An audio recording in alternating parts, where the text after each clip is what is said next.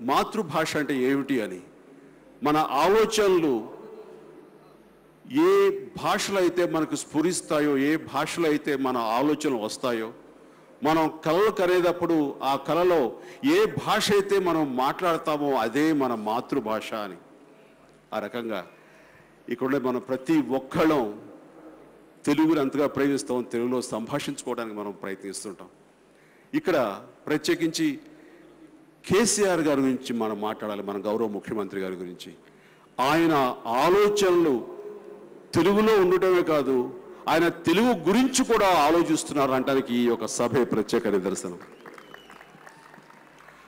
ఆయన కళలు కూడా తెలుగులోనే కంటారంటానికి ఆయన ఈ యొక్క రాష్ట్రంలో ఒకటవ తరగతి నుంచి పన్నెండవ తరగతి వరకు తెలుగు భాష కంపల్సరీ ఖచ్చితంగా ఉండాలి అని పెట్టడం అనేది అది విప్లవాత్మక విప్లవాత్మక నిర్ణయం. అలాంటి నిర్ణయం తీసుకోవడం అనేది తెలుగు భాష మీద ఆయనకున్న గౌరవం ఏ పాటిది అనేది తెలియజేస్తుంది. దేశ భాషలందు తెలుగు లెస్స అని అని చెప్పమని జ్ఞాపకం చేయడం కోసం అత్యద్భుతంగా ఇది నిర్వహిస్తున్నటువంటి మన ముఖ్యమంత్రి గారి హృదయపూర్వక ధన్యవాదాలు తెలియజేస్తున్నాను. ఏ హై స్కూల్స్కి వెళ్ళినా స్కూల్స్కి వెళ్ళినా మా స్కూల్స్కి వెళ్ళినా ఇంగ్లీషు నేర్పించండి తెలుగు భాష వద్దు అంటున్న రోజుల్లో తెలుగు ఎక్కడ మర్చిపోతామో తెలుగు భాష ఎక్కడ చనిపోతుందో తెలుగు మాతృభాషను మర్చిపోకండని మన ముఖ్యమంత్రి గారు ఆ పోరాట యోధుడు అత్యద్భుతంగా అసలు చూస్తుంటే నేను ఎన్నో సభలకు ఇక్కడికి వచ్చాను కానీ ఎంత అద్భుతంగా నిర్వహిస్తున్నందుకు మరొక్కసారి హృదయపూర్వక ధన్యవాదాలు తెలియజేసుకుంటున్నాను. మన ప్రాంతాలు మాత్రమే విడిపోయాయి. తెలుగు తనం చెరిగిపోలేదు తెలుగు వాళ్ళు విడిపోలేదు తెలుగు పదం మారలేదు.